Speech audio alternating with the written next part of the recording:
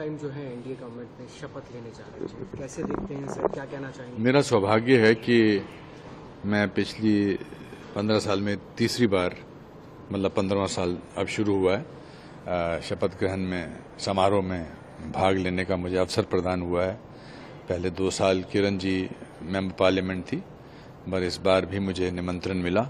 अ, और सबसे अच्छी बात यह है कि सेम प्रधानमंत्री शपथ लेंगे। तीनों बार। और अपने मंत्रिमंडल के साथ।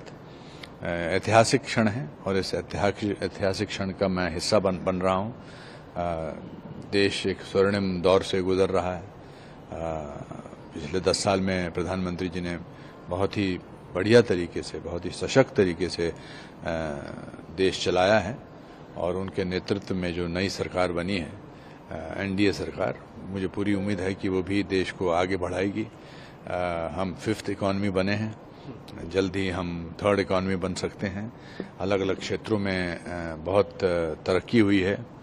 और जो प्रधानमंत्री का पर्सनल जो एक रवैया देश के अलग अलग क्षेत्र के लोगों से रहता है, चाहे वो खेल कूद के हों, चाहे वो साइंटिस्ट हों, चाहे वो पद्मा अवार्ड्स के विजेता हों, उन्होंने पूरी रूपरेखा बदल दी है।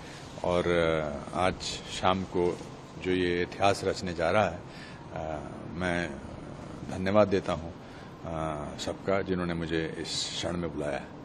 सर अमृतकाल प्रधानमंत्री ने इसको बताया था पूरा बोला कि अमृतकाल चल भी रहा है और उसके बेनिफिट जो है स्टार्ट हो चुके हैं। जी जी। क्या होता है कि मेरे मेरे हिसाब से अ, बदलाव जो है ना उसका एहसास बदलाव के कुछ साल बाद पता लगता है। अ, हमें जो ये चीज़ें हो रही हैं और जो वर्तमान के लोगों को शायद उतना एहसास नहीं होता क्योंकि जो चेंज है वो बहुत साइलेंट होता है। मगर आने वाली पीढ़ी इस चेंज को महसूस करेंगे। जो इंफ्रास्ट्रक्चर में चेंज हो रहा है, अभी उस दिन मैं बॉम्बे में जुहू से नरिमन पॉइंट जा रहा था और मैं, माहिम के बाद जब मैं नई जो एक सड़क बनी है, नया जो एक पुल बना है, बीस मिनट में पहुँच गया था। तो हमने जो इंफ्रास्ट्रक्चर में ऊपर उतार चढ़ाव देखे हैं उससे लेकर अब तक वो अलग हुआ है। हर फ़्लाइट में टिकट नहीं मिलती है रेस्टोरेंट्स में टिकट नहीं मिलती है। और मैं अपने देश से आठ साल छोटा हूँ। मैंने देश को और मैं साथ साथ बड़े हुए हैं। मैंने देश को बदलते देखा है। देश की तकलीफें, देश की सुख, देश की, देश का निर्माण होते देखा है।